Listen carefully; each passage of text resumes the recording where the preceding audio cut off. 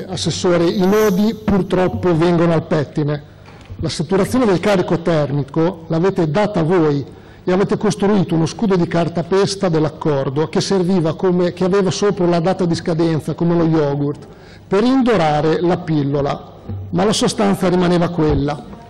Il problema però è ben più grave perché il problema è strutturale. Qualche giorno fa, ma anche lei adesso, Qualche giorno fa il Presidente Bonaccini, con un post sponsorizzato, evidentemente in questi giorni ha bisogno di farsi pubblicità, si vantava che nessuno può darci lezioni sui rifiuti perché in legge abbiamo scritto 73% e perché non siamo mai andati in emergenza rifiuti. Ma il Presidente, lei immagino che li abbia visti, li ha visti i dati aggiornati del piano rifiuti, bene, in barba all'accordo dei 130.000 voi, voi, avete dovuto derogare l'anno scorso a 170.000, 167.000, proprio a Parma. Non basta scrivere la letterina Babbo Natale che nel 2020 saremo tutti più buoni e raggiungeremo il 73% per risolvere i problemi dei rifiuti. Il problema sta alla radice, al peccato originale che il PD di questa regione ha sempre sostenuto come modello e come sistema un sistema che ha legato questa regione mani e piedi alle grandi multi-utility e ai loro impianti ed investimenti. Se c'è sovrabbondanza di inceneritori, gli indifferenziati non calano.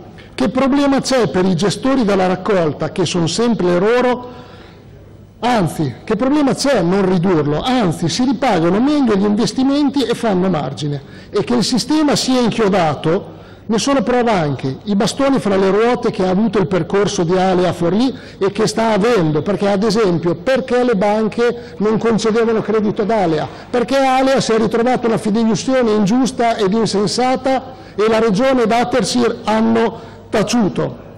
Che il sistema sia inchiodato lo dice anche il parere di Cantone sulla gestione dei rifiuti in Emilia-Romagna.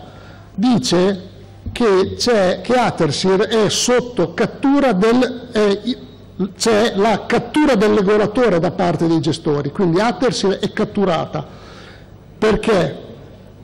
Perché Atersir non ha fatto le gare, perché le gare che sta facendo le sta facendo artificialmente grandi per far partecipare solo i grandi, avete fatto dei bacini di affidamento enormi, con date che non finiscono più. Ecco, è qui il peccato, regionale questa, il peccato regionale di questa regione, che non risolve il problema dei rifiuti e anzi li fa aumentare. Basta guardare i dati. Abbiamo un rifiuto indifferenziato pro capite che è 10 volte quello delle migliori esperienze nazionali. Se guardiamo i dati di Legambiente dei, dei, dei comuni ricicloni, il Veneto, il Trentino, il Friuli Venezia Giulia hanno una percentuale di 25-28 per cento di comuni che raggiungono quegli obiettivi. La Regione Emilia-Romagna il 2%. Perché noi non, non, scendiamo sotto? Perché il sistema è questo. Tornando, tornando a Parma, quello che ci aspettiamo da voi è una presa di posizione netta, un tavolo, un tavolo ci, sembra, ci sembra poco.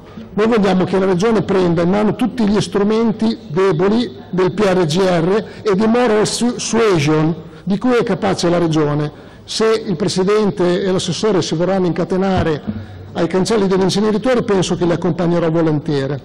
Parma è la Food Valley, Parma sarà la capitale della cultura.